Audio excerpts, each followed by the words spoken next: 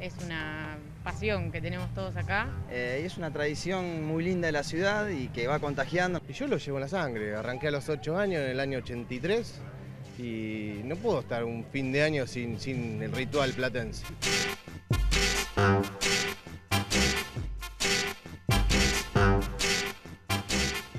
Y sí, la bruja ya empezó a echar su porque estamos en la ciudad de La Plata, en la previa de una celebración que ya cumple más de 60 años. Así que nos vamos a quedar acá para mostrarles cómo es la previa de la tradición más antigua de la ciudad de La Plata.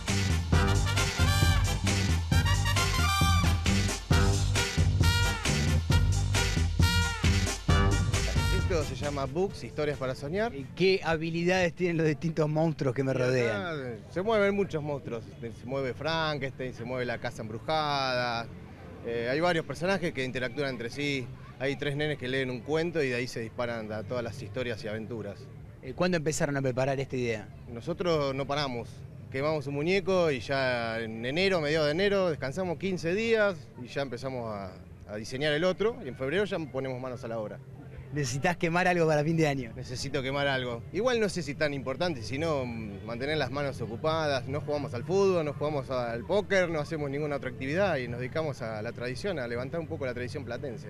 La diversión pasa por esto, básicamente. La diversión y mantenernos todos unidos. Algo que empezó en- con tres personas que éramos hermanos, terminó siendo más de 35 personas, que es ya una gran familia, porque cada uno se casó, tuvo hijos y hasta los hijos ya están viniendo al grupo.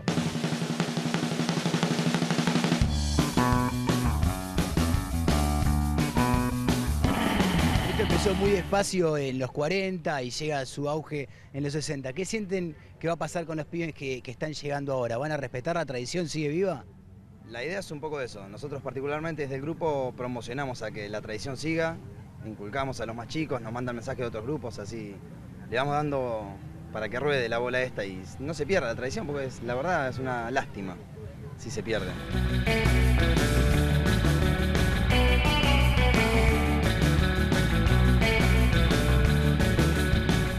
Caminando por el Boulevard Circunvalación. Como ven, hay instalaciones por todos lados y este año por primera vez la municipalidad decidió meterse y empezar a controlar porque esto solía ser como una cosa más tradicional, más vecinal y ahora se metieron para garantizarle la seguridad a todos los vecinos. Así que vamos a ver esta instalación de acá.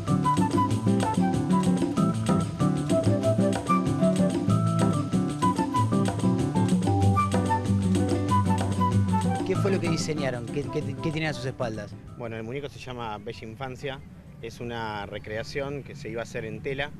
Uno de los chicos, el creador que es Martín Falioca, eh, había diseñado hacer este muñeco en tela y lo trasladamos a hacer esto que, que la gente tiene, eh, la gente, lo que está viendo la gente. ¿no? Imagínense que los va a estar viendo todo el país y que terminan la fiesta de la Unión o antes de empezar. ¿Por qué les recomendarían venirse para La Plata para ver esto mañana a la noche? Porque es un show único y mm, es espectacular. Eh, la verdad que a nosotros nos encanta que venga la gente acá, que se llene y que disfruten un poco de lo que era antes, porque lo que estamos viendo acá en nuestras espaldas es la infancia que, que hoy no perdió. existe. La infancia que se perdió. ¿Cuánta gente compite? ¿Saben más o menos cuántas instalaciones compiten? Eh, creo que hay unos 103 muñecos inscriptos. eh, la verdad que no, no, los, no los vimos todos, pero mm, dicen que son 103.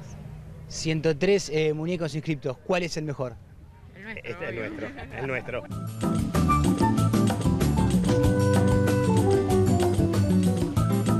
A la hora de la quema, este año cuando empiece el fuego, eh, ¿qué vas a quemar del 2016? ¿Qué te querés olvidar y qué querés que mejore el 2017?